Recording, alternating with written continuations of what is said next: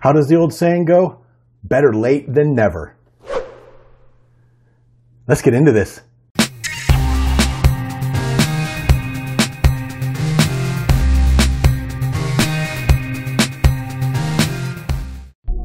All right, welcome to another episode of Paul's Collectibles.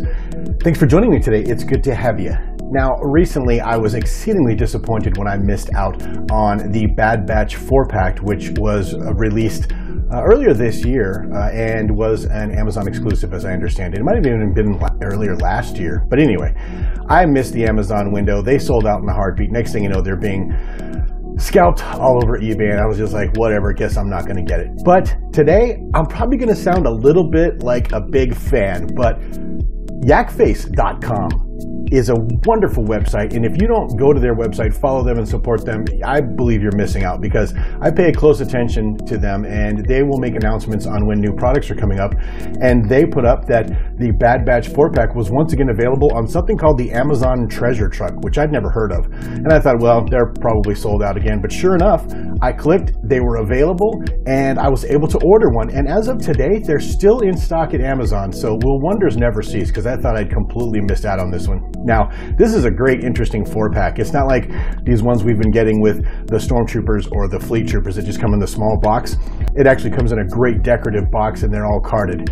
And as always, this has been out for quite a while, but since I didn't get it until now, we're still going to take a look at it, but it'll just be a quick overview. But with that, let's get this beautiful four pack in front of some lights, take a look at it, and see what I'll be adding to my three and three quarter inch Star Wars action figure collection today.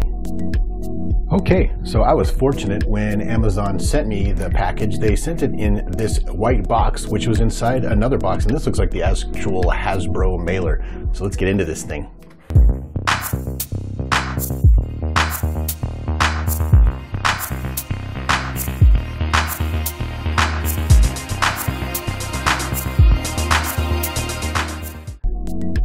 Okay, when you get them out of that packer box, this is what you see on the front here. All four carded figures lined up inside this window here. It's got Clone Captain Rex, Clone Captain Ballast, which was changed to something else in the series, and I've now since forgotten the name. Clone Captain Grey and the Elite Squad Trooper. Bad Batch logo up here, looking good. Kenner logo down here. On top, it's got all the figures from this wave. Apparently, these are considered to be part of this wave, or that's a secondary wave, one of the two. On the side, just says Figuras.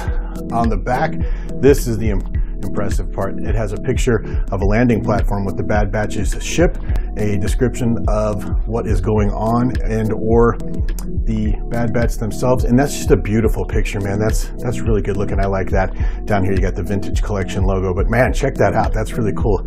Troopers everywhere and their ship. Then on this side we got figures in a bunch of different languages again, and we got legalese. Let's get these out of here and take a look at them.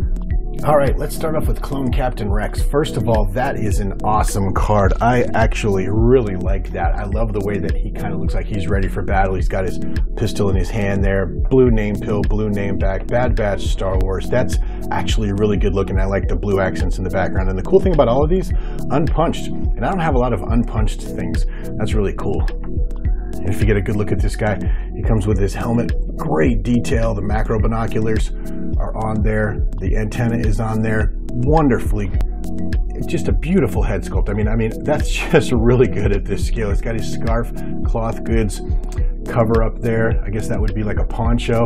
It's got the tick marks down his arm there. You can see both his pistols, the blue accents on there. Just a really good looking figure. That's that's actually really cool. I like that. They did a good job on that. And Captain Rex is 208. Next up, we have Clone Captain Ballast, and this is the guy that we saw that kind of rebelled against the Empire, and they changed his name either for this card, so there wouldn't be any spoilers, or in the actual series itself. I'm not sure which, but either way, he's got the green name pill, the green name back there. Just another good picture. Looks like obviously some sort of artist rendering, of course. Uh, none of these characters were actually real as of yet, but wonderful card. I love the green kind of offsets the teal that he has there.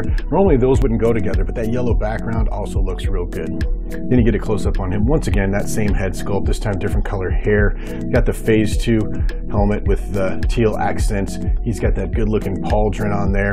Down here, he's got his standard blaster, all the teal accents and they seem to be weathered and damaged nicely. They did a good job on that. That one's really cool too. And Clone Captain Ballast is VC210. Next up we have Clone Captain Grey. He's got that nice goldish tan background on his name pill and behind the figure, and I believe this is the guy that was with the Jedi's at the very beginning of the series uh, who ended up executing Order 66 on, I believe, I forgot her name, but anyway, this is where Kanan Jarrus survives Order 66 and runs off. But that's the clone captain that was with them. And that green accent, once again, with the yellow background, I love the offsetting colors and the pictures that they use for the clones on these cards. They're just really cool. I am impressed. I, I like these a lot, I'm not to lie. Then once again, that same head sculpt. He's got slightly darker hair, looks like. I love the difference in the decor on his helmet. He's got the deeper green, but they slash across his cheeks like that. The green stripes on his arms, the white stripes on his forearms, green belt. Great detail. He's got black knee pads, which I think is pretty cool, and the standard blaster. Once again, I realize that these are for the most part repaints and rehashes, but you could give me all the clones and troopers you wanted, and I would just be excited and buy them all. And Clone Captain Grey, who ironically dresses in green, is VC209. Lastly, we have the Elite Squad Trooper. This guy is really cool too. I thought I was just gonna get overly excited when I saw these in the Bad Batch.